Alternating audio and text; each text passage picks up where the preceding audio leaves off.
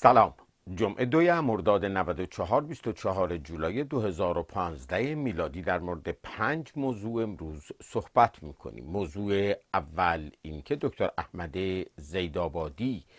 که به شش سال زندان و پنج سال تبعید در گناباد محکوم شده بود و در حال گذراندن پنج سال تبعید بعد از شش سال حبس بود به یک مرخصی پنج روزه به تهران آمده بود که به او خبر دادند که تبعید او منتفی شده. بعد از آزاد کردن یازده زندانی سیاسی که بسیاری از اونها البته مدت محکومیتشون تمام شده بود این خبر دوم خوبی بود که در دو روز گذشته به گوش رسید. اگرچه اتفاقات دیگه و محاکمات دیگه و دستگیری های دیگه ادامه داره. سازمان عفو بین الملل اعلام کرده که در شش ماهه اول امسال بیش از 694 نفر در ایران اعدام شدند که متوسط هر روز سه نفر اعدام شدند. سال گذشته کلا تعداد اعدام 743 نفر بوده. به این ترتیب اگر با همین آهنگ به انتهای سال بره رکورد بیش از هزار اعدام در سال به جا خواهد گذاشته شد. حکم اعدام مجید جعفری تبار روحانی که برای مردم استخاره می کرده و بیش از 132 خط تلفن 24 ساعته به تلفن های مردم جواب می‌داده و استخاره می‌کرده ظاهرا در دیوان عالی کشور هم تایید شده و ببخشید در دادگاه تجدید نظر هم تایید شده و به این ترتیب یک گام دیگه این روحانی به اعدام نزدیک شده. گفته میشه همسر او هم به اعدام محکوم شده. البته هنوز مقامات غذایی چیزی نگفتن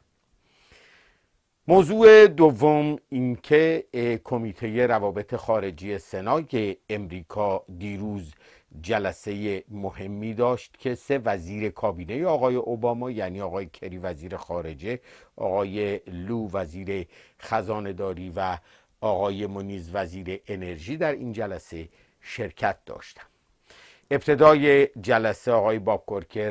رئیس جمهوری خواه کمیته روابط خارجی سنا با ذکر کارهایی که ایران در عراق کرده بمب های کنار جاده ای که در اختیار مخالفین گذاشته و بعد از این هم که امریکایی ها ساخت بدنه ها رو تغییر داده بودن بدنه خودروها رو ایران هم به گفته آقای کرکر بمب ها رو تغییر داده و هنوز سربازان مجروح امریکایی در بیمارستان ها رو ایشون گفت می‌تونید برید ببینید و خلاصه اینکه با حکومتی رفتید قرارداد امضا کردید که دستش به خونه جوانان امریکایی آغشته است. بعد از این جوی که آقای کرکر ساخت صحبت ها شروع شد و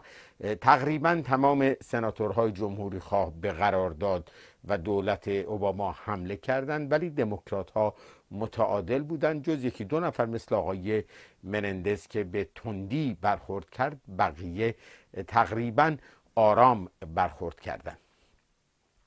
آقای جکلو وزیر خزانهداری اعلام کرد که تحریم ها اگر ایران تعهدش رو انجام نده برداشته نخواهد شد و تایید هم کرد که سپاه کماکان تحت تحریم به دلیل مسائل تروریستی باقی میمونه. ضمنا در همین جلسه مطرح شد که کنگره امریکا در جریان توافقهای محرمانه که بین آژانس و ایران به صورت گرفته در قالب اون قرارداد نقشه راه نیست که آقای جان کری گفت که در جلسه خصوصی و محرمانه در مورد اون صحبت خواهد کرد. ضمنا آقای کرکر به تلخی هم از دولت اوباما انتقاد کرد و گله کرد از اینکه چرا قبل از رسیدگی کنگره ورداشته و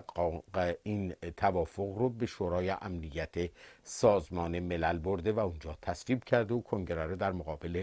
کار انجام شده خواسته قرار بده. در نیویورک دیروز یک راهپیمایی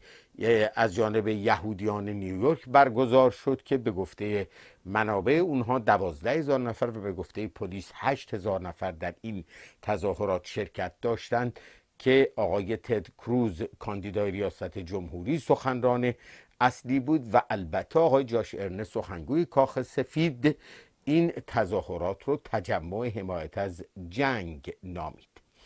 پلاکارت هایی که در دست تظاهر کنندگان بود چند تاش جالب بود که مستقیما سناتور چاک شومر سناتور ایالت نیویورک رو که دموکرات هست مخاطب قرار داده بود و از او خواسته بود که این توافق رو متوقف بکنه. البته آقای شومر گفته من با دقت دارم می‌خونم و نظرم رو بعدا میدم. در حال الان آقای چاک شومر سناتور دموکرات که از سناتورهای ارشد و احتمالا رئیس بعدی فراکسیون دموکرات ها در مجلس سنا خواهد بود مهره کلیدی شده که اگر به مخالفت با قرارداد بپردازه تعداد زیادتری دموکرات سناتور و کانگرسمن به دنبال او حرکت خواهند کرد و احتمال رسیدن به نصاب دو سوم بالا میره. موضوع سوم اینکه سپاه طرحی داره تهیه میشه که به موجب اون اگر سپاه تایید بکنه رزمندگان خارجی که برن و در کشورهای دیگه برای سپاه بجنگن منظور عمدتا سوریه هست تابعیت ایرانی خواهند گرفت. اگر این طرح تصویب بشه در واقع نشون میده که در سوریه مشکل کمبود نفرات سپاه داره و افغانها رو که داره با پول به اونجا اعزام می‌کنه با جایزه دیگری به نام تابعیت ایران می‌خواد تعدادشون رو افزایش بده. خبرگزاری صدا و سیما هم خبر از نامه داده که عربستان محرمانه نوشته به ایران و خواستار این شده که در یمن ایران از حوسی ها حمایت نکنه و در عوض سعودی هم از گروه های سلفی تندرو در سوریه حمایت نخواهد کرد. البته مقامات سوری سعودی در این خصوص چیزی نگفتند. وزیر کشور بحرین هم ایران رو متهم کرد به اینکه مواد منفجره اسلحه و مهمات به بحرین قاچاق می‌کنه و اردوگاه آموزش تروریسم و تروریست تشکیل داده و خلاصه در بحرین اخلال و مداخله می‌کنه. موضوعی که ایران البته همیشه تکذیب می‌کنه. موضوع چهارم این که امیر حسین زمانی معاون امور بین المللی وزارت نفت در جلسه که با هیئت به ریاست وزیر صنعت و معدن تجارت